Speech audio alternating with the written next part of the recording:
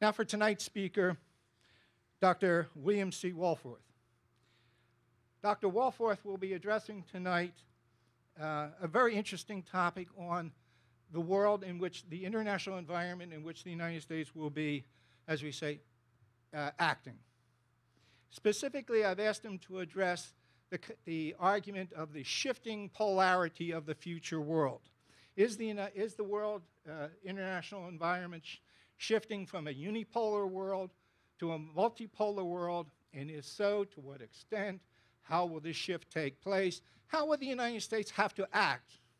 Because we're used to acting for at least the past couple of years in a sort of multipolar or unipolar world. How will we have to change? What will we have to do? What will that multipolar world look like? And how will we have to adapt? Now, Dr. Wohlforth is the Daniel Webster Professor of Government at Dartmouth College. He is also the editor in chief of the journal Security Studies and is on the editorial board of the Cambridge Studies in International Relations. Very uniquely, he brings to, to our um, group tonight both a theoretical and a practical background because his interests lie in not only international relations theory, uh, as you would have uh, learned back in graduate school, but also the practical issues related to international security. What happened in the Cold War? How did Russian foreign policy evolve and adapt in former periods? Now, Dr. Wohlforth has previously taught at Georgetown and Princeton universities. He has also written and co authored and edited numerous books and articles, including World Out of Balance, International Relations Theory, and the Challenge of American Primacy with Stephen G. Brooks, Unipolarity, Status Competition, and Great Power War, as published in World Politics, The Balance of Power in World History, which he edited with Richard Little and uh, Stuart Kaufman, and International Relations Theory in the Case Against Unilateralism with Stephen G. Brooks in Perspectives on Politics. Dr. Wohlforth received his MA in International Relations as well as a master's and doctorate in political science from Yale University. Please join with me and welcome Dr. Wohlforth.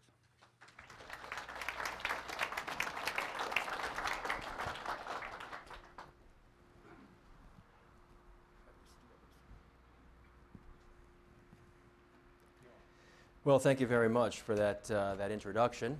Um, if you think that introduction was in any way impressive, uh, it pales by comparison with the effect produced by glancing over the participant list uh, of tonight's invitees. The people sitting before me are a quite impressive bunch. I'm, it's kind of intimidating to have to uh, address such a group. Imagine if you were up here addressing all of these people with all of these acronyms after their names. I'm worried that after this thing is over, Mike's going to give me a quiz. I'm going to have to identify what these things mean. You know, can you really talk about American grand strategy if you can't identify every single one of these acronyms? Um, why should we listen to you? Um, no, I appreciate very much uh, the invitation to come here. It's a great uh, honor, and I shall uh, try to do my best to address at least some of the questions uh, Mike raised. I think my presentation is going to deal mainly with that context uh, of American foreign policy, the context of American grand strategy. Uh, as we gather here tonight, I think it's quite clear that there is a mood uh, uh in this country and abroad, a mood of crisis uh, of American foreign policy, a mood of change in the international system, that we're on the cusp of a new era, and that this change and this crisis are linked in the sense that U.S. foreign policy may be encountering these crises, this mounting set of challenges, this dwindling sense of resources and solutions. There might be encountering that crisis because of the changes in the international system. In particular, because the international system is shifting from something called unipolarity to something called multipolarity, which is a shift that should occasion, so the argument goes, a rethinking of American grand strategy. And I have tonight a, an answer, a response to that mood that I can summarize in one word bunk. or if you prefer, balderdash, or maybe piffle, or it's wrong. Um, in more polite terms, what I want to do in my remarks to you is push back against this basic presumption that we are encountering a major shift in the basic structure of the international system that is going to cause a fundamental, or should cause a fundamental rethinking, a ground up review of American grand strategy. Those of you who are here for the Walter Russell Mead talk, which I had the pleasure of viewing online, will have had a wonderful uh, historical, excellent description of that grand strategy. The question is is that broad, engaged, leadership oriented grand strategy going to be compelled to change in the near future because of a shift in the global distribution of power? I'm going to answer negatively to that question. In particular, I'm going to make six points, which means I have to keep moving. And if you notice that I've gone from point one to point four, then I hope you enjoyed your nap. This is a way of kind of keeping uh, uh, up with what's going on.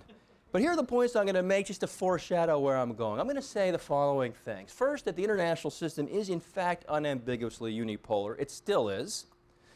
I'm going to argue that that's not likely to shift towards either bi or multipolarity for many decades. In a sense, that well, the United States will have the ability, if it wishes to change its grand strategy in a different direction, it won't be compelled to do so by a change in the basic structure of international politics over the policy relevant future.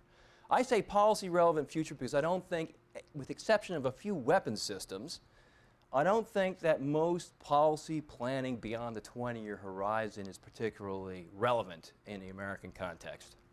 Uh, third, I think that this distribution of capabilities that we call unipolarity uh, conveys benefits uh, on the United States. These benefits are sometimes hard to see in a world that is in which challenges to the United States' interests are so salient, but nonetheless, I will suggest that those benefits are significant.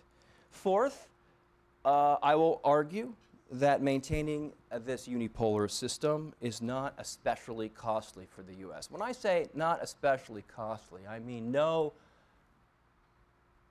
disservice to the men and women who are serving and to the taxpayers who are paying their taxes. I mean especially costly in comparison to the kinds of commitments this country and other countries have made in the past in different international systems. Fifth, I'm going to argue that it, of all the grand strategies the United States might follow, an activist, leadership oriented grand strategy, which is indeed the one Walter Russell Mead described in this forum, is probably best suited to furthering U.S. interests.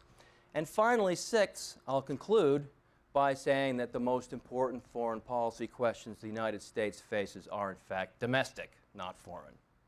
Okay? So that's where I'm going. To begin with, we have to start with the boring part. You got to do boring first. I've learned that through years of lecturing, which is to define your terms. Now, you're going to hear unipolarity and multipolarity mentioned all around the world by various analysts, political leaders. I always would say, you know, look for how they're defining that term. 99.5% of the time, they don't offer a definition. So I'll give you a definition by which polarity refers to how usable capabilities are distributed among the most powerful states in the international system. Why do we focus on these so called great powers? It's because, for, for ill or for good, they have the most capacity to shape the international setting. Some 80% of GDP, 90% of military spending is made up of, was made up, is accounted for by a relatively short list of so-called great powers. How capabilities are distributed among those actors importantly shapes the landscape of world politics. And so with that definition of polarity, you can think of unipolarity as a distribution of measurable capabilities among states such that there is only one superpower. There is one state that is unambiguously and clearly above the rest in terms of basic capabilities. Rather simplistically, I warrant, this graph shows how military expenditures and GDP is, are distributed among often named major powers today the uh, implication of those measures, simplistic as they are, I think, is uh, the implications are that what you have is one power whose capabilities in across the board uh, put it in a class by itself, such that it's a world essentially with one superpower. Does it, this doesn't mean that the United States is omnipotent. It doesn't mean that it always gets what it wants. It doesn't mean that the United States is a global empire or the United States is more powerful than every single other country combined or the United States can effortlessly go overthrow regimes and create democracy in far off lands without expending too much. It means none of those things. It means simply there's one power in the world with a global reach capacity, one power capable of assembling major coalitions, one power whose measurable capabilities, again, put it in a class uh, by itself. Now, the measures presented here on this graph are very simplistic, as I've suggested. The U.S. position in reality rests on a much more varied and uh, complex foundations that encompass investments made over many, many decades in institutions and capacities and alliances and partnerships and various mechanisms the United States uses to exercise leadership. Nonetheless, I don't think the numbers lie too much in showing the United States as a power that does not have an unambiguous peer in the international system. Now, when we think about multipolar, uh, unipolarity, we need to compare it not to imagined worlds of effortless U.S. leadership. We want to compare it not to the Roman Empire. We want to compare the U.S. position not to the position of a deity or a god, as many analyses do. We want to compare it to actual other international systems that have actually existed. And those generally can fall into one of two other possible types of polarities bipolarity and multipolarity.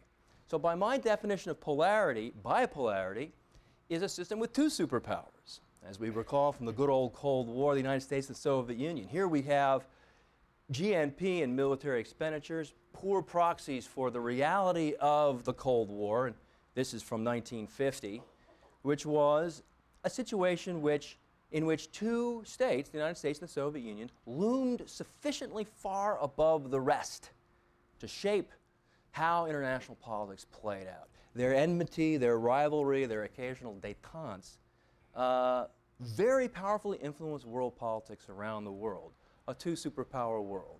Multipolarity is, of course, a system when there are no superpowers, just a lot of great powers. This graph shows you multipolarity, a, a system which basically was typical of international relations from the period in which the modern international system comprised itself in the 17th century uh, up until the end of the Second World War.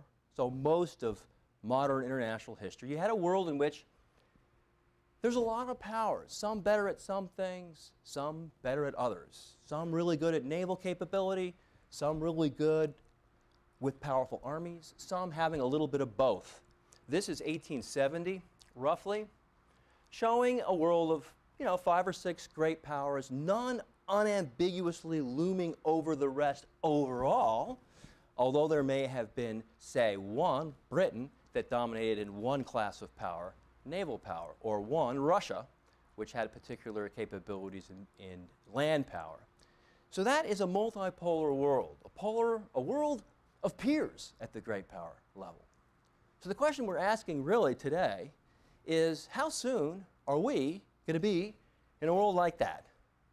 A world where if I were to graph out uh, the capabilities of all the major players, they'd look kind of roughly comparable. Um, and my answer to that is, of course, my second point, which is that's going to be a long, long time. How long? Don't know. Future can't be forecast. But you got to try when you're making grand strategy. And I think if you try to forecast, it's not, it's going to take a long time. I'm not saying that history is frozen, not saying there's no change, not saying China is not rising very fast. It's just going to take a while. So as we move to my second graph, I will make a rare self reference. I'm 50 years old, been around for 50 years. And uh, this graph captures the U.S. share of the world economy over that 50 year period, which, as you can see, fluctuated from some 24 or so percent when I was born and dropped down into the low 20s during the disco years of the 1970s and uh, uh, uh, reclaimed a good part of its uh, former stature uh, in the late 90s and early 2000s, and since has gone back down to almost, if not below, disco levels of low 20s. Now, if you look at that thing, you know, whether those are huge changes or not, it depends on the question you're asking. I think, in terms of the global position of the United States as a very rough measure of where it stood economically, it doesn't suggest a huge amount of change. But if you look back over that period and think, you know, I look at the audience now, it seems like most people are younger than I am. But if you look back over that period, we were in crisis. The U.S. was declining most of the time. Most of the time. It was a crisis. It's always a crisis. 1960, John F. Kennedy ran on the so called missile gap argument. But that wasn't just a missile gap. That if you go back and look at the campaign rhetoric of the 1960 campaign, it wasn't just a missile gap. It was we had decisively declined under the Republican administration. John, uh, uh, uh, in his 1957 book, Nuclear Weapons and U.S. Foreign Policy, Henry Kissinger intoned, he always intones, he intoned another 15 years of decline, such as the, we have just experienced, will leave the United States hunkered down in North America, lonely and scared. Um, so we were declining then. Of course, we were declining after our troubles in Southeast Asia. Uh, we were declining uh, and facing a foreign policy crisis.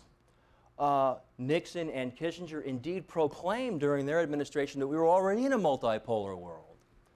We, of course, it was morning in America under Ronald Reagan, but the intellectuals and commentators never believed him. He never managed to convince Paul Kennedy, for example, and many other observers who were convinced in the 1980s that the United States was declining owing to its fiscal overstretch. And of course, in the late 1980s and early 1990s, it was Japan as number one. The US had a terrible political economic system. The Japanese had found the secret to how to run a modern economy, and we were toast. So we've been declining all of these years. The big lesson is actual changes in fundamental power balances take a long time to eventuate. So in each of these cases, what you were having, what you were experiencing was a real trend in the world. In each case, there were real things happening. People were legitimately concerned about them. And yet, what they did was they extrapolated some trend into the future and read it back into the present. They saw some problem like the, uh, the U.S uh, uh, failure to achieve its objectives in Vietnam or uh, the relative decline of the United States economy compared to the rising, flourishing economies that, as they recovered after the Second World War, they they took some trend and saw into the future that trend, extrapolated it back into the present, and overinterpreted the significance, the present day significance of that trend. Well, that, ladies and gentlemen, is what I think is happening now and is largely accountable for this mood of dramatic change and potential crisis. Um, a trend is not the same as an existing relationship.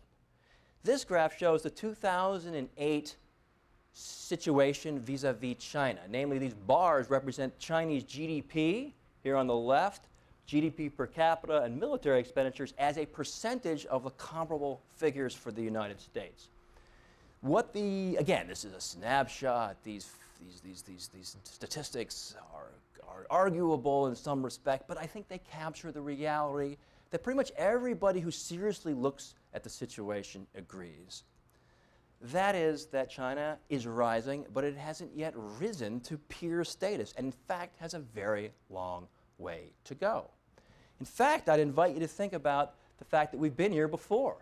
This shows Japan in 1996 with the very same measures, um, owing in part to a very inflated Japanese currency. But even if you use uh, purchasing power parity, parity measures, the Japanese compared to the United States in the early to mid 1990s looked on many indexes like a far more looked, uh, shall we say, looked far closer to being a peer competitor of the United States in terms of power potential than China does today.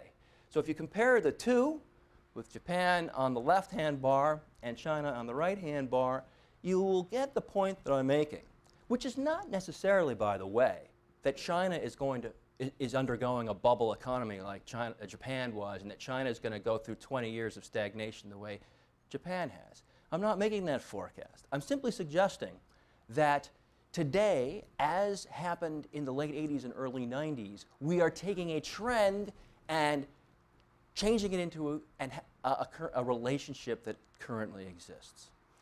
So, because the gap in capabilities between the United States and the number two power is sufficiently large, it's going to be a large, a long time uh, before unipolarity gives way to a power distribution like the one I showed you before of multipolarity. Indeed, if you look at the current trend, if you focus on what people are talking about, which is the rise of China, growing at 10% a year, growing this year even over 8%, notwithstanding the financial crisis, that trend is not towards multipolarity.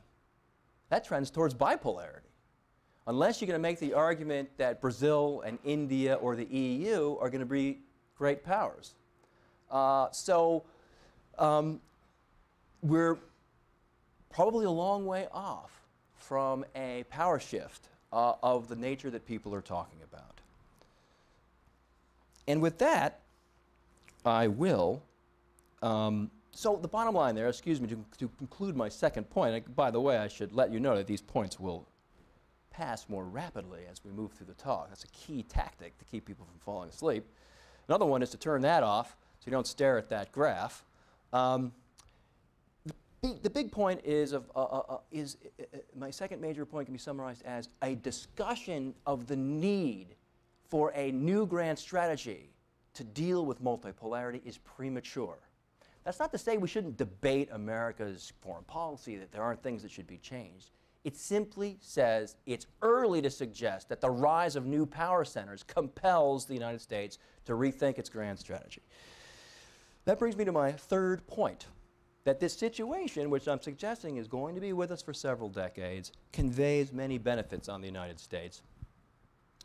And these benefits uh, may be hard to see in a world beset with challenges where we naturally focus on current problems and challenges that sometimes seem insoluble.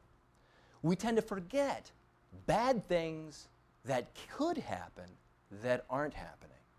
And what I'd like to suggest to you tonight is that there are some pretty bad things that aren't happening, and they're not happening probably or at least partly because power is distributed, distributed in a unipolar fashion.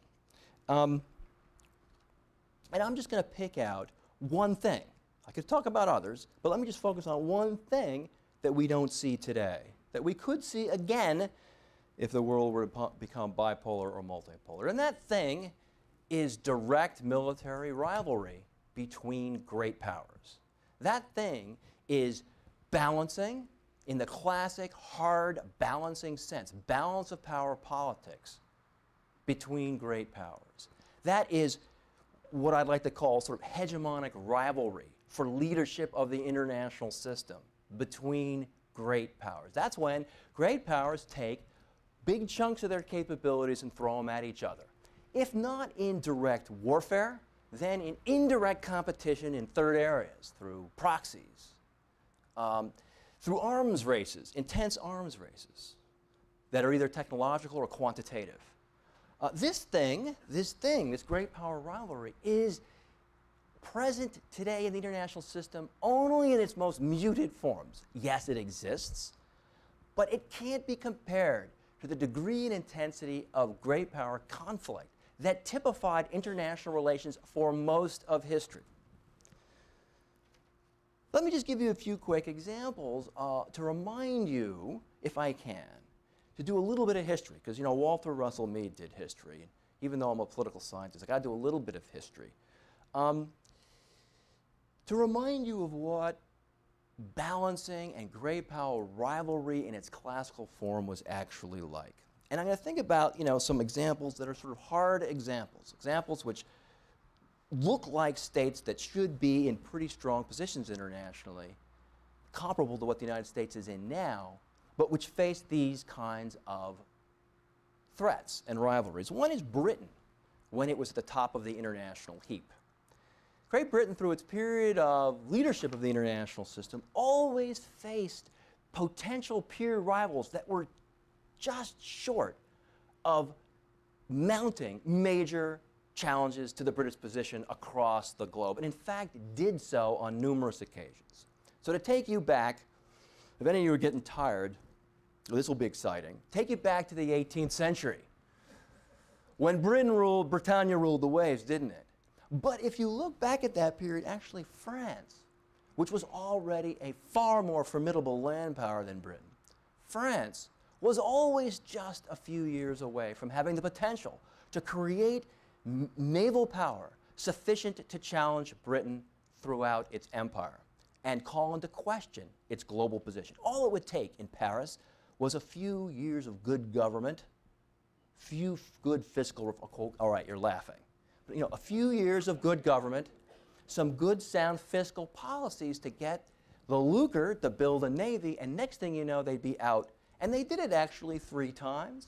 They did it in a series of events that preceded and led up to the Seven Years' War. They sent squadrons off to India to support Britain's, uh, the Rajah's opponents in India. They intervened in North America. They intervened in the Caribbean.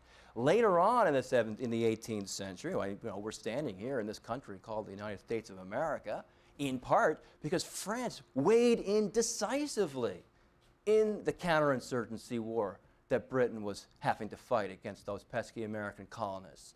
How would those colonists have done as insurgents without ships of the line, frigates, supplies, and other supports from the great uh, French uh, nation across the oceans? So, numerous occasions in the 18th century, you saw great powers going at it in the periphery of international politics, throwing uh, weight in the scales against British leadership in a way that today the United States does not have a comparable kind of concern. It has many concerns.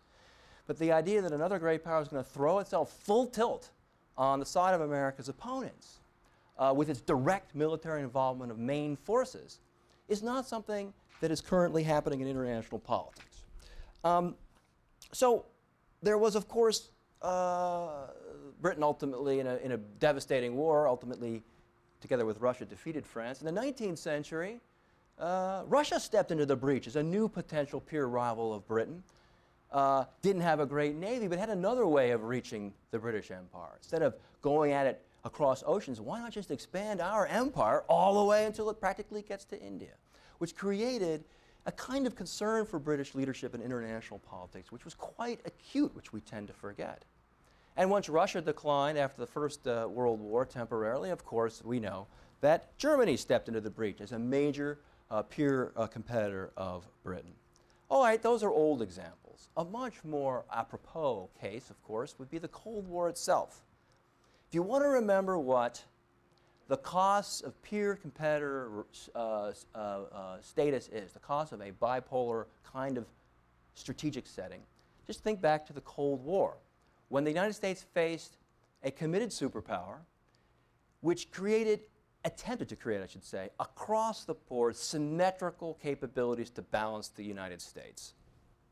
Didn't always succeed, but it was trying, creating for the United States a very, very serious uh, need to commit very, very serious resources to uh, its security policy during the Cold War.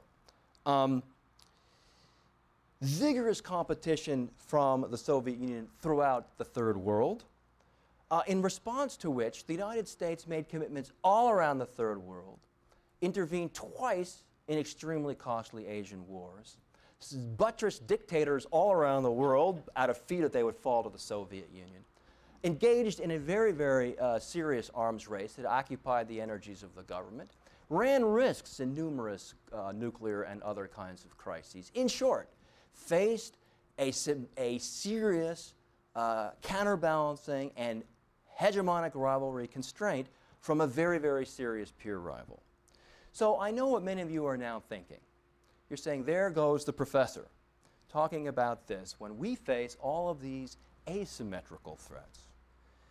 Yes, the United States' unipolar position makes it hard to compete with the United States at that level. So uh, America's opponents or rivals go for asymmetric strategies? My response is going to be a little bit flip, but it's serious. If you think asymmetrical strategies are bad, try symmetrical ones. Think back to the Cold War and remember what a symmetrical one was like. Um, so, the fact that other major powers, the fact that uh, China and Russia don't always agree with the United States, uh, that they sometimes refuse to cooperate with the United States because they don't agree with it, uh, the fact that they sometimes provide diplomatic, political, and other forms of support to regimes the United States is at loggerheads with, such as Iran, the fact that those two countries occasionally cooperate and seek to exclude the United States, as happens, all of those are true, they're important, I care about them, I study them, but they pale in comparison to what real counterbalancing, what real hegemonic rivalry was like, and which I suggest would be far more likely if the world were more balanced. Which is to say, if other countries had the capacity to mount more serious challenges to the United States, there is a some probability that they would do so. Not inevitable, but so certainly a probability. One way to think about this is to spend a lot of time reading what Russian commentators say, what they say, and immerse yourself in the Russian discourse about world affairs. And you read what the Russian elite says and ask yourself if those guys had a $12 trillion economy and they had the military forces the United States has, would they be inclined to compete with the United States a little bit more? I think it's very hard to spend much time reading that language and that way of thinking about world politics without reaching a positive answer to that question. Would it be as bad as the Cold War? I don't know, maybe not, but it would be, present a kind of challenge that doesn't exist today, and it doesn't exist in part because the United States' position in international politics is based on such a strong material foundation that I've called unipolarity.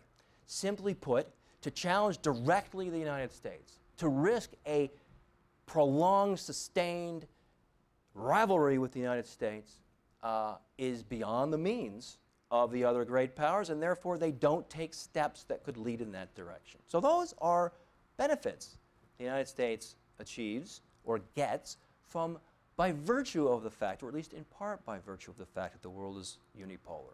We often forget them because they're things that are bad that aren't happening. Now, so bottom line is I'm suggesting it has certain benefits. Unipolarity does, which brings me to the fourth point that maintaining unipolarity is not especially costly for the United States.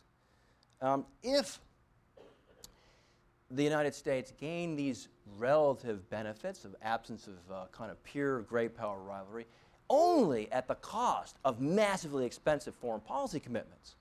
If it could obtain these benefits only by massive sacrifices and risks, then it might be a not such a good deal for the United States. But I want to suggest to you that unipolarity itself, as a structural setting of politics, does not necessarily and has not actually extracted major, massive, or unsustainable costs on the United States. The first thing to point out here is, excuse me,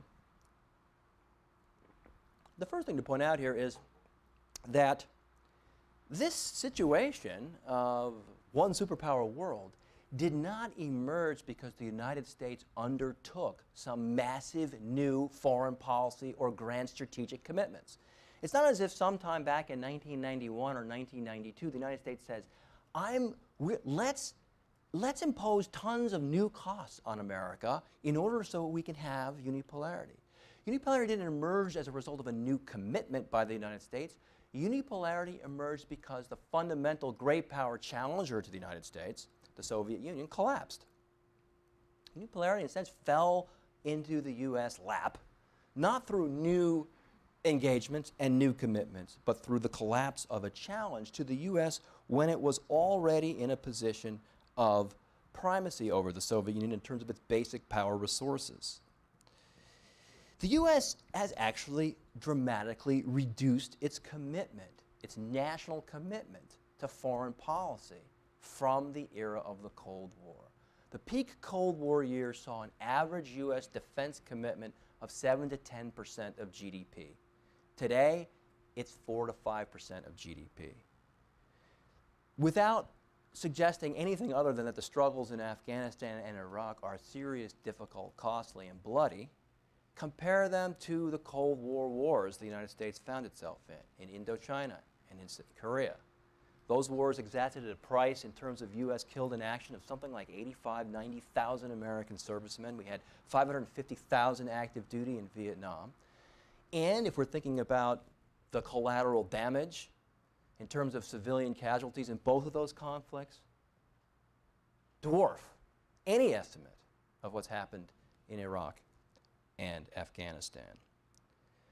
We had an arms race that was consuming huge portions of GDP and expertise. We had interventions. I'm only mentioning to you the headline interventions, not all of the smaller, unsung, but nonetheless costly interventions during the Cold War. And we had crises, superpower crises. Anybody remember these? Things like, well, no one's going to remember from personal experience, I don't think. It goes pretty far back. Berlin, the Cuban Missile Crisis, uh, there was a crisis over uh, nuclear alerting during the Yom Kippur War in 1973. There was even a crisis that not so many people know about in 1982 when the United States NATO did a, an alert exercise called Able Archer that created a war scare in the Soviet Union. In hindsight, they were starting to get really nervous and take certain actions that raised the risk of nuclear war. In short, routinely, in the Cold War, the United States undertook policies in this, it felt in necessity, it felt for the national security of this country, for the security of these people. It undertook actions in crises that raised, however slightly, the risk of a global thermonuclear catastrophe. Um, those things were the kinds of foreign policy commitments that were, if not routine, they were a hallmark of the Cold War. By comparison, the costs and risks undertaken by the United States in the post Cold War unipolar era, while serious, are not as high. Neither the costs in terms of the size of deployed forces, the GDP, the overall downside risks run in crisis, or even as bad as the death toll is, even in terms of the death toll uh, in Iraq and Afghanistan compared with Vietnam and Korea. So the bottom line here is that we did not undertake dramatic new commitments when unipolarity came into being. They are not necessary for the creation of unipolarity. And overall, the U.S. commitment to foreign policy has been lower under unipolarity than it was under bipolarity, and indeed lower than was typical of most great powers in multipolar systems. The second thing to bear in mind here, too, is that at least some of the headline grabbing, expensive, costly policies the United States has undertaken since the end of the Cold War and the emergence of this unipolar world, many of these policies are not absolutely necessary for the maintenance of a unipolar international system. Probably the best example of that is the war in Iraq. Whatever one whatever your position is on the war over, uh, in Iraq, whether it was a uh, misguided or a uh, uh, uh sound policy decision, it's difficult to argue that that war was necessitated, was necessary in order for the United States to maintain its position as a unipolar state.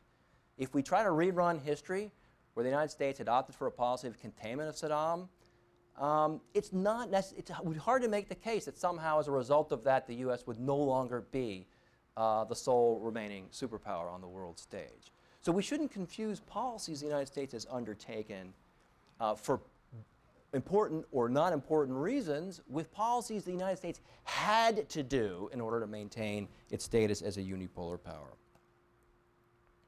Now, some people argue, a lot of my academic colleagues make the following argument.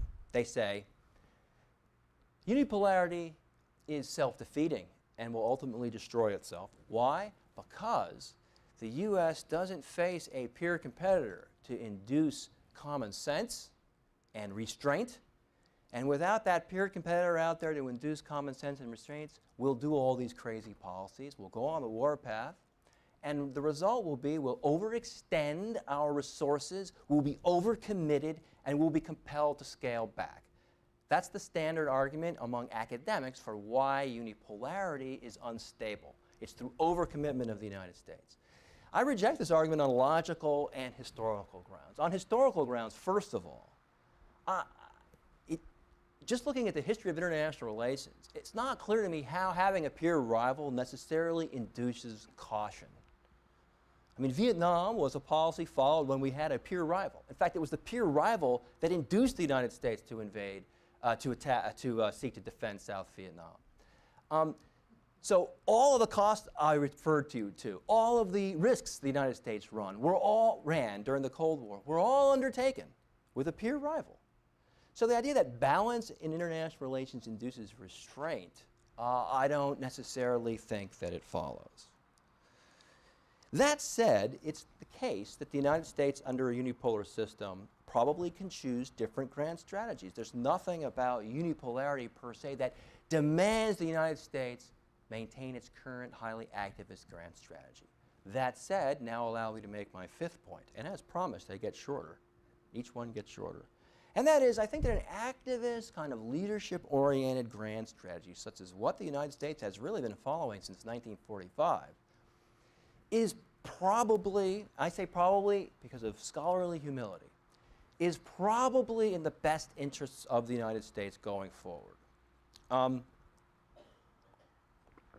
the U.S. could follow a much more restrained foreign policy, and many argue very persuasively that a massive or a significant scaling back of U.S. commitments abroad, security commitments in particular, is in the U.S. interest. And indeed, unipolarity makes that a perfectly possible policy for the U.S. to pull back. Wow.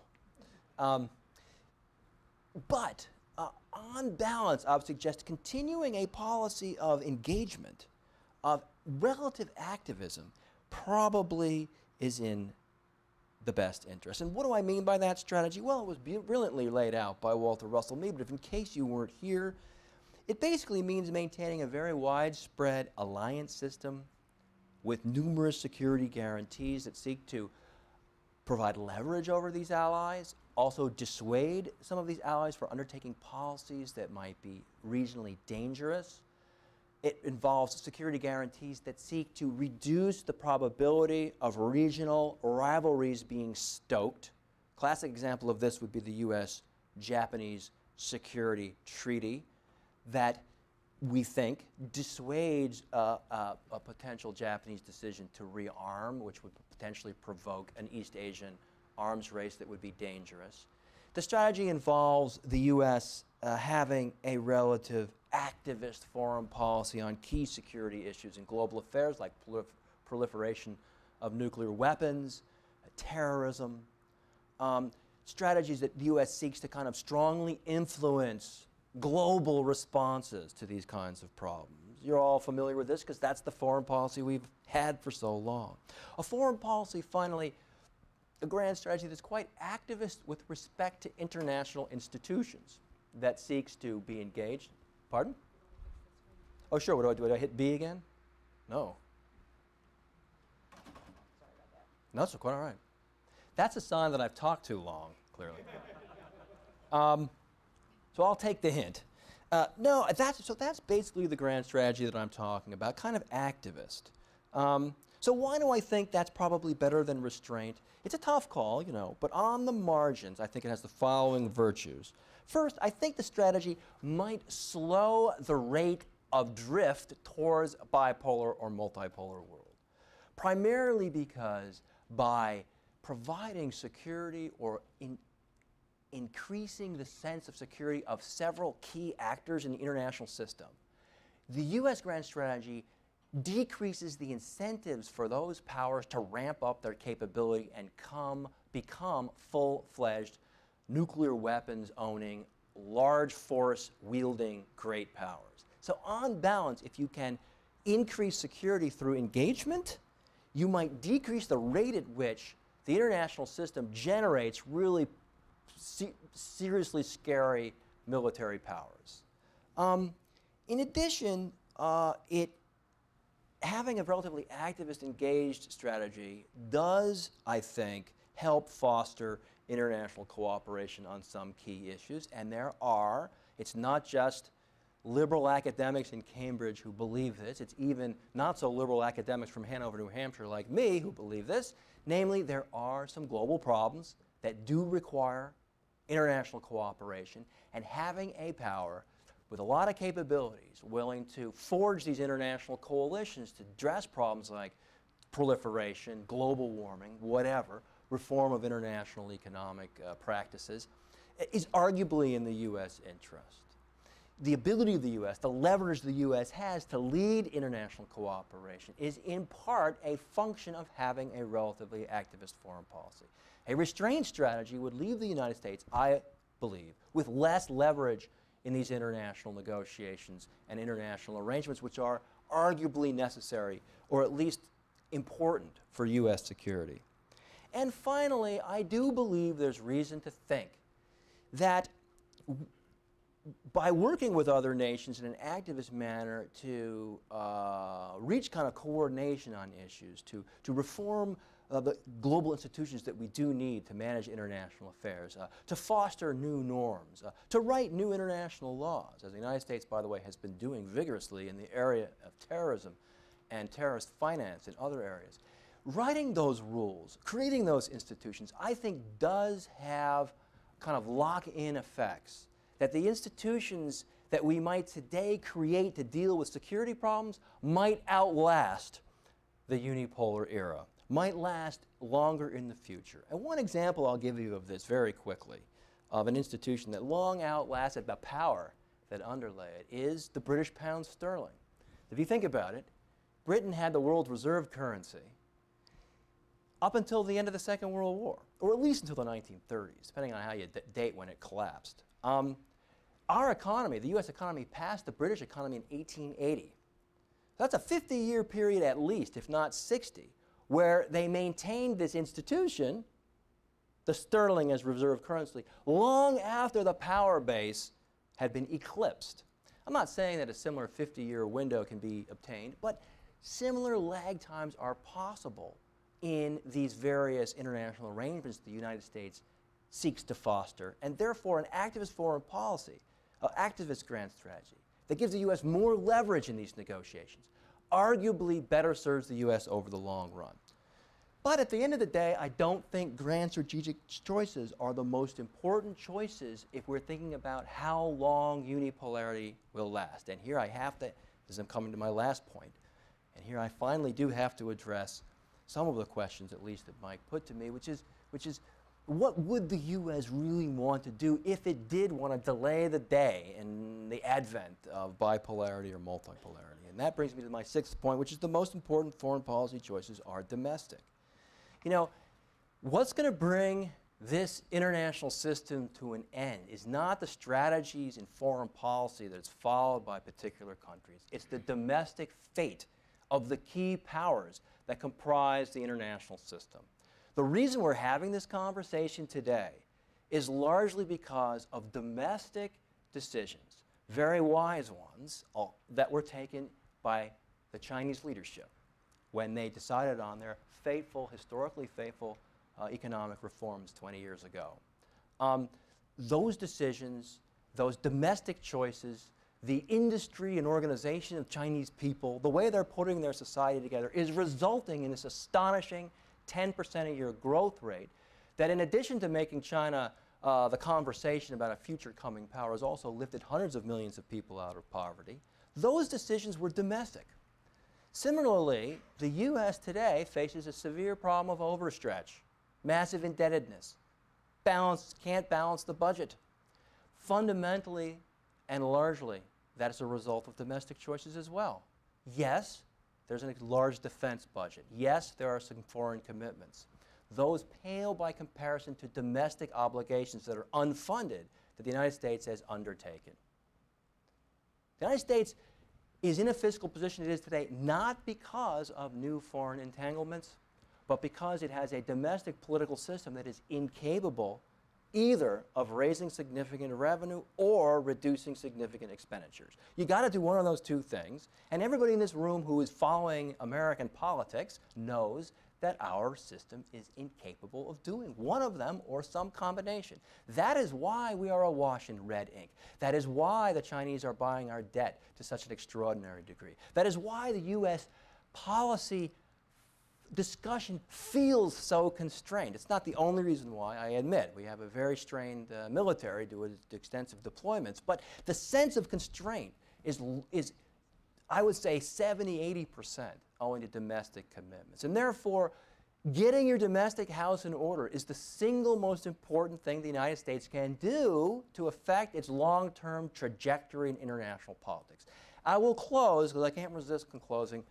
Closing. This is why I'm an academic and not a hard, uh, you know, policymaker or a, you know, an act, a, a, a DC Beltway active-oriented person. I'm up there in Hanover is because I can't resist closing my talk with kind of an ironic twist, uh, which means, you know, it's, it's classic hopeless academic stuff. But there is a kind of irony in that this might be, this domestic politics piece might be the, the, the, the real vulnerability of unipolarity. That is, the problem with unipolarity is not the absence of a peer rival means the U.S. goes off and does crazy things in international relations and, and, and becomes an overstretched empire.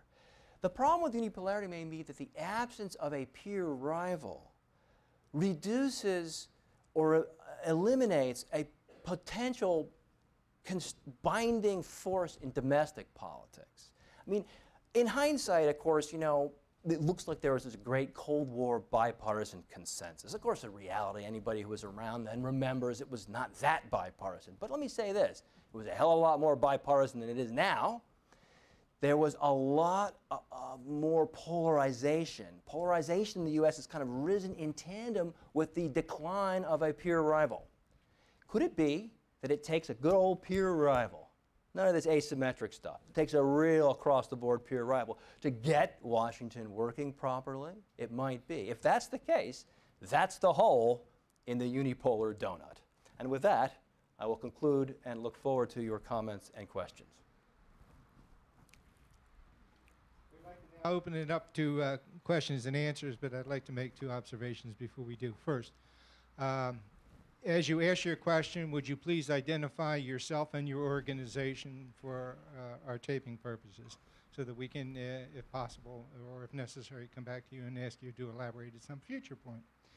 Second, um, we'd like you to ask short questions. In other words, uh, we don't need a second speech, or we prefer not to have a second speech. So please keep your questions to actual questions uh, as opposed to um, full presentations. So I, I then open the floor to questions.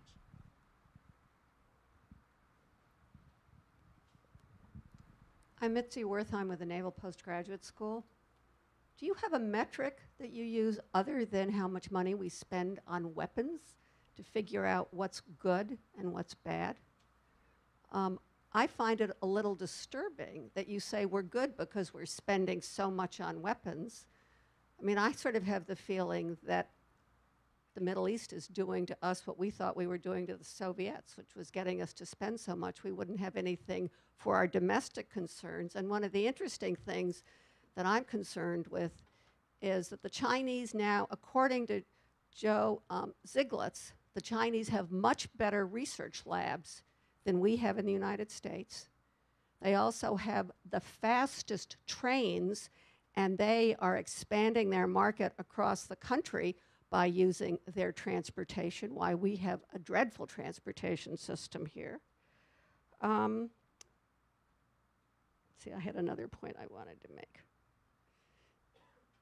And I guess I do think um, our educational system is really a mess, and we ought to be spending lots more money in that than in buying more weapons. I mean, half of the kids are not graduating from high school. Half of the kids that enter junior colleges don't graduate. Half of the kids that enter college don't graduate within six years. I mean, I think these are very disturbing indicators about what's going on here. And this whole idea about spending more money for weapons as a good idea, I find a little puzzling. So we're in crisis. We're declining, exactly as we have been for the last 60 years. I would say two things. First, the defense spending figure is not, I'm not putting, a, I'm not saying it's good or bad. It's a measure of the scale of you, it's a, it's a, it's a way of getting an indicator of the scale of the U.S. military capability. If you really want to measure military capability, spending is not a great measure because obviously some things in the United States are extremely expensive to buy that are cheaper in other countries and so forth.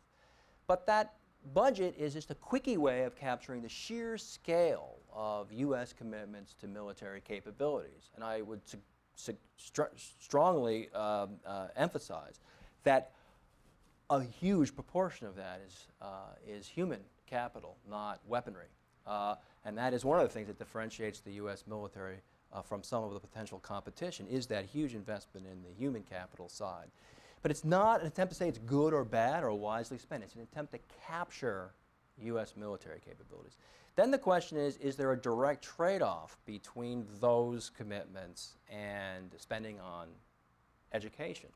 Uh, as a professor at a college with two school-age kids, I'm all for spending more money on education. Let me just vote for that. I vote for that, absolutely. Um, and it's possible that you could gain some revenue from scaling back defense commitments. If you go for an offshore balancing or restraint foreign policy, you could probably knock a chunk. Various people have estimated how much that chunk is. I personally think 100 or 150 billion is a pretty big number of what the U.S. could do if it opted for a much more restrained grand strategy. 150 billion is nice. It pales by comparison with our budget deficit. So the way you're going to fix the problem of, if there is a problem of lack of government spending on infrastructure and education, is going to be to get your domestic house in order.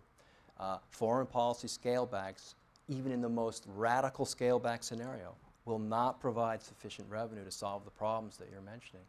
So again, it's a, it comes back to a domestic politics question, I'm pretty sure.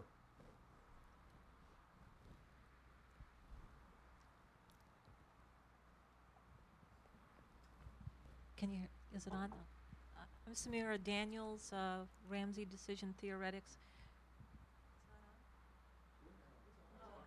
Okay. Um, I just wanted to uh, uh, ask you to refine a point for me, which is that um, you say that, you know, I mean, I, I might, I would concede that the United States has no peer rival as such, and but perceptions are are everything. And um, in our society, you know, we have a very diverse uh, population and lots of immigrants who have brought with them um, their their understandings of what are world threats. And I, you know, since I've lived in the academic community, I I see a 30, 40 year history of this, and um, I guess that while you know uh, there are that don't see a pure rivalry, th- these particular domestic groups do do see a rivalry, uh, uh, you know, abroad, and I wonder to what extent those those you know immigrant rivalries uh, influence our perceptions of who's out there. Because you know you can talk to one ethnic group and they will see you know they will focus on one, uh, on a, on another uh, depending on their historical uh, experience. So i was just wondering uh, you know whether we're just conflating and you know saying it's you know we'd have no peer rival but it is a question of perceptions would you wouldn't you say and which which makes the grand strategy and grand desi- design even more complex and uh, difficult to sift through Yeah, I mean, I see two pieces of that question. One is kind of the perceptions versus some attempt to measure capabilities through these very imperfect measures, as opposed to what people think, as one piece of it. And the second is perception of degree of challenge to the United States, uh, notwithstanding all of these, you know, capabilities that you might throw into some graph. So on the first question of perceptions, that's a great question. I think perceptions matter to matter matter in politics. People act on what they think, not on what some professor says. Uh, if they think they're a peer rival, then they think they're going to take on the United States, or if they think that the United States is is is going to be displaced, they they will act on that. Um, I've actually uh, I have a limited capacity to study everything, but one of the things I've tried to do as best as I can is keep up with the conversation in various parts of the world. You, you know, you read, Russia is the, uh, a country that I grew up studying in the Cold War when it was still the Soviet Union. What is the elite, read carefully, what is the elite conversation actually about? The first thing you'll notice if you look particularly at Russia, I think my friends who study China uh, will say similar things, is that they, they say the world's multipolar. That's the first thing. It's multipolar no matter what some maniac professor might say. Um, but if you read carefully, what do they mean by multipolar? Do they define multipolar the way I defined it? And the answer is actually no. By multipolar, they mean there's a lot of important actors. And it's not a world where the U.S. can dictate what it wants. And it's not a world in which the U.S. gets to rule by fiat and we just have to go along with them. They conflate unipolarity with unilateralism. If you rephrase the question and look in these domestic discussions in the various capitals of the world and say, is there another superpower that is basically comparable to the US, close to comparable, like the Soviet Union? No one will say the answer to that question is yes. If you ask them, or you read, you know, how long will it take before the US is just, you know, one power that's pretty much the same capabilities as, the, as a bunch of others, they'll say a long time. In other words, if you really read what they say, they're not actually disagreeing with this portrayal. It's just the, comment, the commentary and the expectation is once again going through this periodic phase of over-interpreting global power shifts that I've witnessed several times uh, in the past and I've studied uh, several times in the past. The second thing is about the perceptions of threats, and in a way this goes back to your question about it, about um, uh, you know, security commitments and degree of threat, and to what, how do we allocate resources between this massive military commitment uh, versus uh, domestic? My uh, talk, my view is actually on the optimistic side. It's very hard to speak like this in front of a, a group of Washington insiders who are themselves engaged in, many of them, I should say, are engaged in very difficult policy realms with very serious challenges.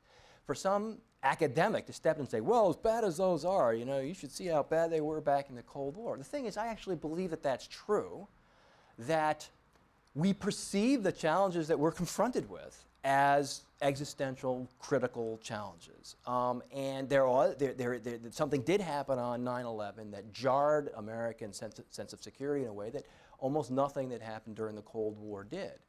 But that said, I actually think the degree of latitude for the United States to make choices, uh, the degree of latitude for the United States to shape its strategic environment uh, is much greater than many analysts, many analyses, many uh, strategic reviews would have you think. If you step back and look at it, um, uh, uh, the security challenges start to look more, there starts to get, there starts to be some space created for thinking about shaping the environment over the long term as opposed to responding to these immediate challenges when you realize that the world is likely not to experience that kind of you know, great powers going at each other full tilt. That was actually typical of international politics for most of history. It's really quite unusual and extraordinary. And in fact, just to end this, uh, this response to your excellent question, overall great power military commitments, as huge as they look,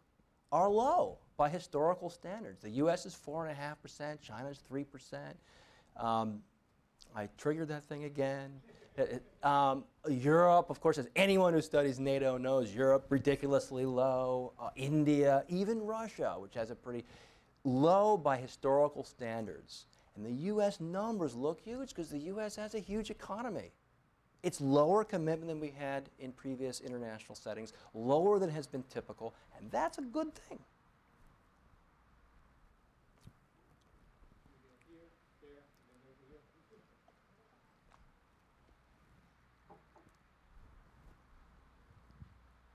Uh, thanks for an interesting talk. Margaret Polsky, George Mason University. Given the way you've defined polarity, and in the context of thinking about strategy and rethinking strategy, what if the, I mean, I'm, I'm, assuming with your measure, your measure is fairly consistent over a couple of centuries as you've used it. Are the strategic capabilities of the 19th and 20th century the same strategic capabilities that we need in the 21st century. If those capabilities have changed, are we measuring the right things when we're looking at polarity? Um, uh, the answer is yes. The answer to this excellent question is yes and no. Again, it depends on the question you're asking. If the question you're asking has to do with the most powerful actors in the international system, which are the great powers, and their capacity to do things to each other, then I think I'm using the right measures because those measures obviously have changed uh, absolutely over time. But what matters is relative to other great powers. If you look at those measures, what they capture is, and I can do obviously much better measures, but what they capture is great power capacity versus other great power in a given period. When it was wooden ships of the line, it was wooden ships of the line. When it was dreadnoughts, it was dreadnoughts. Um, when it's big tank armies, it's big tank armies. Um, and the, I think the measures that I gave you faithfully, roughly, again, roughly, captured the great disparity in high end, great power, great power military capabilities between the United States and other great powers.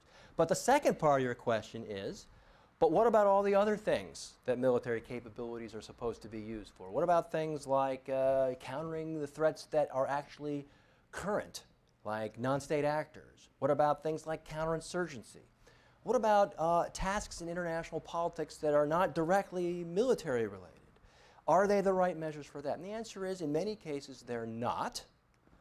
Um, that is to say, looking at those numbers gives you a wildly disparate sense of what the U.S. might accomplish in a place like Iraq or Afghanistan, just as, by the way, the same numbers would have misled you about Vietnam, or they would have misled you about um, Britain's capabilities in South Africa in the Boer War. I mean, counterinsurgency has never, ever, ever been easy. There's nothing new about the fact that high-end, great power-oriented military capabilities have a very, very hard time creating favorable outcomes uh, in, against uh, insurgent uh, or guerrilla actors. This is an old refrain that goes back hundreds of years in international politics. So my answer is yes and no. I believe that the, the kinds of characterization of polarity matters for great power relations, and as I've suggested throughout the talk, I think great power relations still matter, even if only it's about the dogs that aren't barking. Um, but the, the, uh, the second part of your question, the yes part, is to be sure these capabilities are not necessarily the relevant ones for a range of problems that are quite important today, and I'm not denying that that's the case.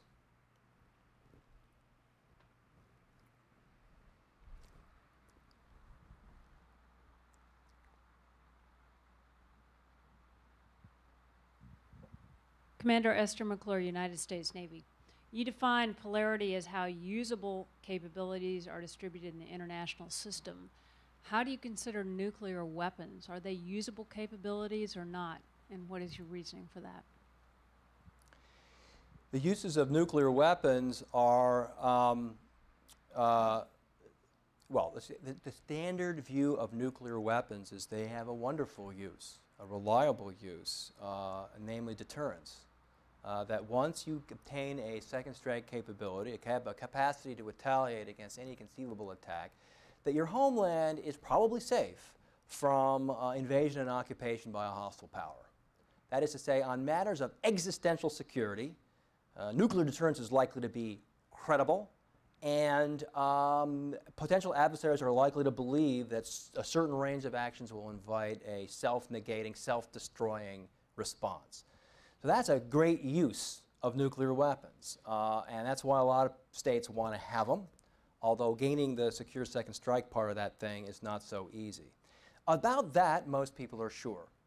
So there's one use. And it does affect um, the implications of polarity for such matters as two states going full tilt at war with one another, as we discovered in the Cold War. That's why all my examples I gave to you of great power rivalry were about other kinds of rivalry than direct attack, because I understand that in today's nuclear deterrence world, those kinds of concerns of another sort of uh, Second World War writ large are, for the time being, um, uh, not uh, highly likely owing to nuclear deterrence. When you move from that basic question about homeland defense from foreign attack and occupation to other realms, I think you will find uh, great uncertainty about the, what nuclear weapons uh, can be used for. And I think it's fascinating that at least in the acad, now I'm going to do a little bit of, you know, call for more work, call for more thinking. It was quite remarkable that the end of the Cold War didn't end, but dramatically reduced our commitment to studying nuclear deterrence issues. There was a ton of stuff on nuclear deterrence during the Cold War. Every new every new academic journal that came out there'd be another attempt to think through the intricacies of how to create a stable balance between these two states now that the world is far more complex in terms of nuclear now that we have weak proliferators proliferators that have weak nuclear arsenals vulnerable nuclear arsenals there's a range of questions that i personally don't know the answer to suppose iran gets a nuclear capability that's totally uh, vulnerable what does it do? Does it make Iran's secure? Does it make Iran's existential security something that can be relied upon? Namely, no one is going to attack, conventional attack, and occupy Iran.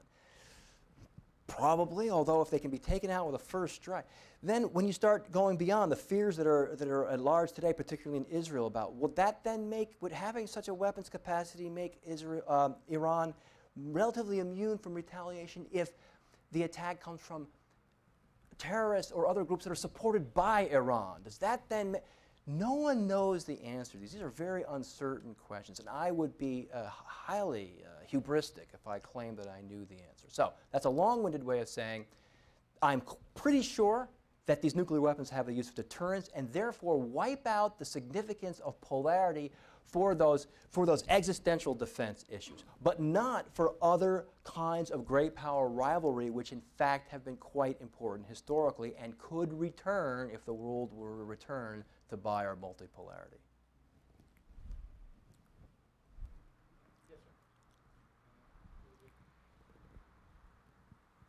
Bob Vallon from the Air Staff. Uh, I can't challenge your uh, statement, or, or I'm inferring it anyway, that there is a competitor to land, sea, or air power from the U.S. the U.S.'s power.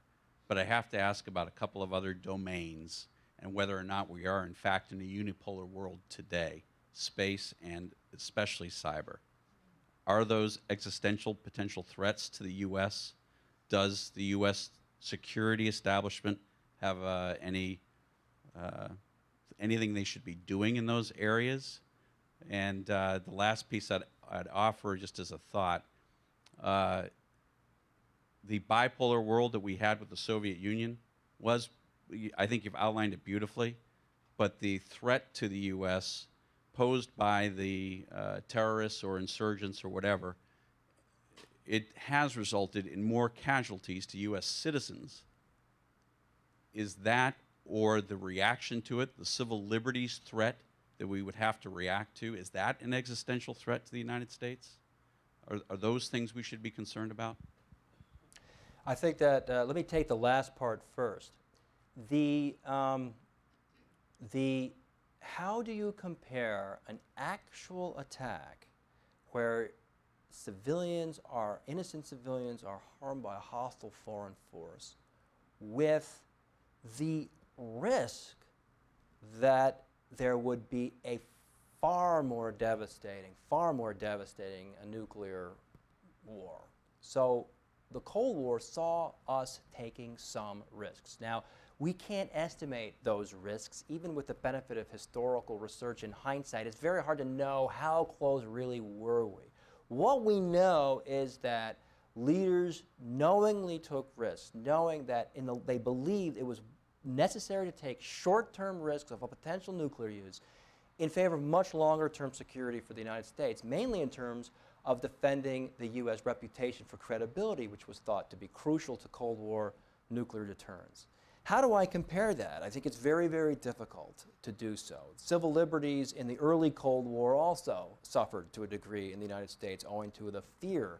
In part, the fear was not just of nuclear, the fear was of subversion. Um, so uh, I think it's an understandable reaction as a, from my, I, I, will be quite frank in saying from my ivory tower perspective, which I know, I will say I, you know, don't know whether it's appropriate to say this, but I did have a, a, a, relative who, who, who lost his life on that day. But from an academic perspective, I actually think the dangers of the Cold War were larger. They were larger because the negative possible consequences of failure was essentially the end of the U.S. polity. The end of it, the end of this thing that we have, the United States, the end, the end of a lot else in the world. Whereas I'm not aware of credible scenarios where Al Qaeda like organizations can constitute that kind of threat. So it's a higher probability of a much lower, though significant, negative threat. To the first question, uh, the answer is if you break up power, that could be a cyber attack. If is anyone else besides me hearing that? I'm hearing a little feedback. Um, they're coming after us. They're coming right to the. Um, if you um, if you break up various components of capability and seek to measure on a, on a, on a arena by arena, theater by theater, capability by capability basis, then there's no question that in certain areas the U.S. stops looking unipolar. Unipolar, the, the term polarity, the usefulness of the term, is limited to a very important realm of great power relations that shape a lot about world politics, but don't capture everything. The minute you start breaking it up and looking at particular elements, it's quite possible that the U.S. might be, uh, there might be much more multipolarity or bipolarity in other capabilities. Personally, I have, I lack the knowledge base to assess the level of threat. Uh, things that I have read makes me think that both of these issues that you mentioned, cyber and space, are things to which any uh, United States government should be paying serious heed because the, the potential downsides, particularly of shutting down uh, uh um, uh, our capacity to act in terms of our internet, is, are, the downsides are so dramatic. Um, but I, I lack the expertise to actually assess that. The big point is if you aggregate and look at overall capabilities, I would stand by my assessment. If you break it down into particular areas, there will be areas where the United States may look uh, vulnerable.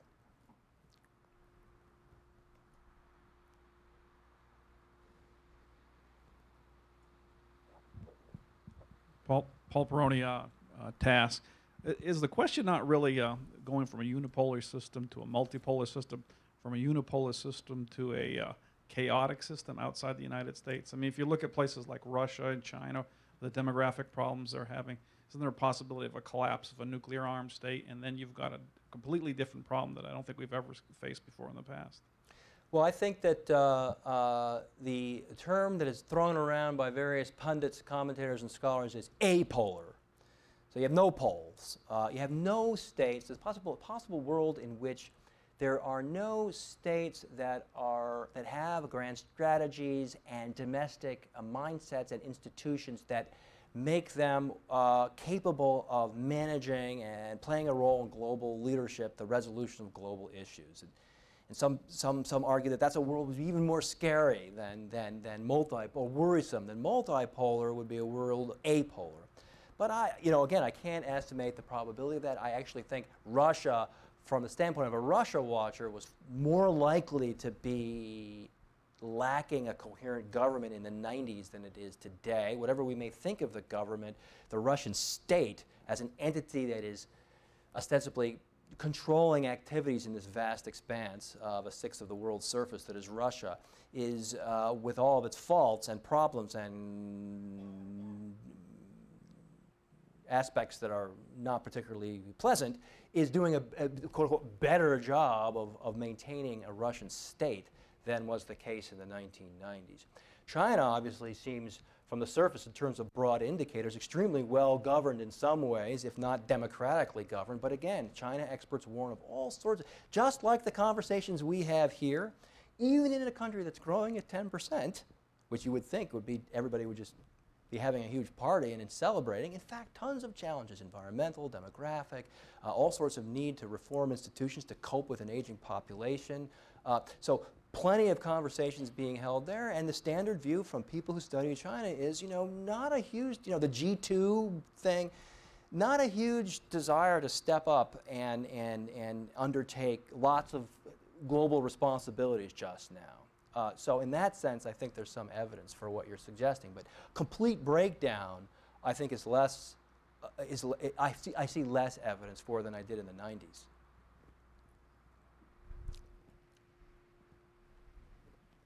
Thank you very much, Justin Logan from the Cato Institute. Thanks very much for the talk. It's a terrific talk, and uh, I think it's very persuasive. I wanted to ask you a question about your theory because it seems to me that you're telling a story not just about the polarity of the international system, but about grand strategy. And grand strategy is ultimately about inducements and constraints. There are constraints on grand strategy. You say, I think interestingly, uh, structural constraints never really bound that tightly during the Cold War. We did some wild and crazy things that were very costly and, in retrospect, uh, deleterious to our power. But importantly, you say there are no structural constraints on U.S. grand strategy today, or they don't bind very tightly. I think the term that you used was nothing will compel a grand strategy shift uh, in a policy relevant future. But by extension, what are the inducements to U.S. grand strategy?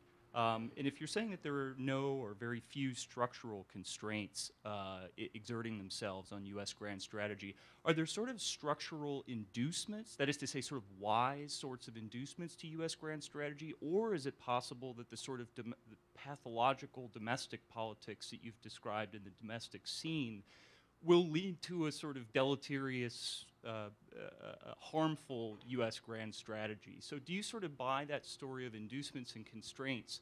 And if you're saying that there are no or few structural constraints, are there structural inducements? That's a great question. I think, uh, again, uh, uh, you know, the more you know about, you know, how policy is actually made, you know, many people in this room know it from a contemporary sense. I have gained a, a sense of it uh, from very close-up historical studies of great power decision making uh, through history. You know, the less you, you know, the harder it is to believe, you know, that anyone other than Bismarck really had a grand strategy. In some sense, it's a kind of a, it's a story we tell. We, we, we kind of go out in the world and do stuff, and then intellectuals, you know, with tweed jackets. Oh, you've got the tweed, ja- the tweed jacket guys come and tell a story about this. You know, here are the four key objectives and the keys that lock up the world, and we did. The, so, um, so I take that point that uh, that there might be a domestic system that is uh, that is not well that is not that is not very capable of making tough domestic choices. It may also not be capable of making dramatic and tough uh, foreign policy choices. Although that said, there was a substantial shift in American approaches to the world after 9/11, uh, and um, and there has been a substantial shift back. So within the within that range of pretty activist strategies, you can choose various ones. You can increase or decrease the military element. You can have a very engaged grand strategy that decreases the military element. You could, you could seek to draw down, continue to draw down in, uh, in Iraq, and ultimately draw down, back down in Afghanistan, and try to eschew further large scale military commitments while nonetheless being very active. So at the end of the day, what would the inducements be? I think, you know, grants, the future is a, guess. We, we, we, we're taking a bet. When you make a strategy, when you take a policy, you're guessing, you're betting that the future will be better if I do this policy than if I do some alternative. And the bet that American policymakers are making, whether they're doing it uh, you know, super uh, consciously or just uh, uh, dealing with every crisis each day, the bet they're making is that the U.S. will be more secure in a future in which the U.S. has a lot of leverage to shape outcomes than it will be in a future in which it is disengaging. American officials that I talk to, that I interact with, and over the years, when I even go back to policy documents from the Cold War, think that this word engagement, this, you know, we're putting secu- we're giving security guarantees, we're our military, military ties, we're, we're building economic institutions, we're making all these commitments. That involvement creates leverage and ability to shape outcomes. Now, of course, lots of times it fails. U.S. president goes, can't even convince the Olympic Committee to bring the games to his hometown. And so everybody says, well, what are we really getting for this? And it becomes a very difficult calculation. What are we getting? And many of the people who support a more restrained foreign policy don't believe that's a good bet. They believe the risks inherent in seeking to be very engaged, to be trying to influence things all around the world, to seek to be a key player in all these disputes, which which uh, uh, seems like a plus to the current to the current grand strategy, they see this as potentially quite dangerous. Might pull us into a war that we don't want to fight. More American men and women might get deployed in, in, in struggles in which we really don't have a national interest stake. So at the end of the day, it's a bet. But what I'm arguing is, is, the, is the, the points that I made in my presentation very briefly were at the margins, I think that having this leverage to shape uh, how cooperation emerges today, having this leverage to reduce the intensity of security dilemmas in some key regions, arguably puts the U.S. in a better position for a long-term, secure world congenial to its interests than one in which the U.S. is, is disengaged.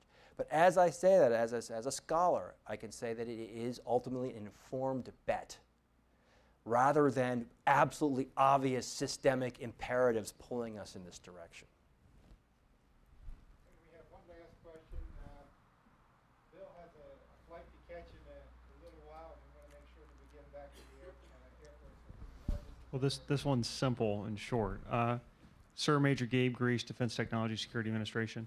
I really liked your slide uh, talking about the national narrative from the 60s to the present day. We talked about America being in decline. So, from your studies, um, looking back, say at Britain, was their national narrative always were in decline, even as they were rising and falling? Is that just a nature of a, a superpower or a power at the top? As we're always looking at ourselves and second guessing or trying to become better or what have you?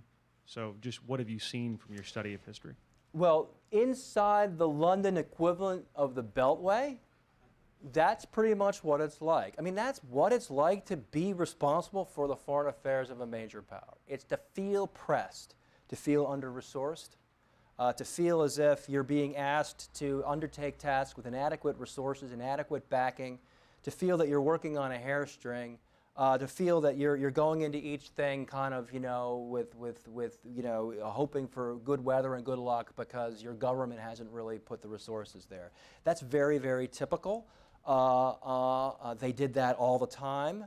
Um, there was a period, perhaps it's influenced by hindsight, there was a period in which the Brits basically accounted for about 50, 60% of all industrial production in the world. It's a little bit like uh, what the situation the U.S. faced in the immediate wake of the Second World War, when all the other industrial economies had been basically laid to waste, and the U.S. produced basically half of world GDP. That made the conversation one about possibilities during this period. Um, it's kind of like being an Ivy League president before the financial crisis. You know, when your your your endowment was just kept every year, it was another 20%. It was like, well, what should we build next?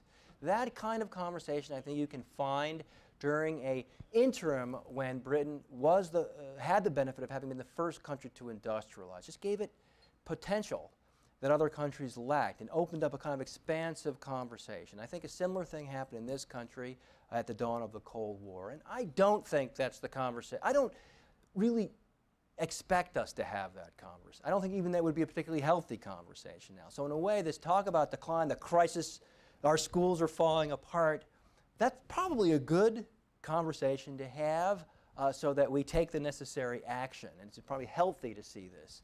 Uh, but I would say, to back up to the first point, it's pretty typical to feel pressured uh, when you're running the foreign affairs of a major country.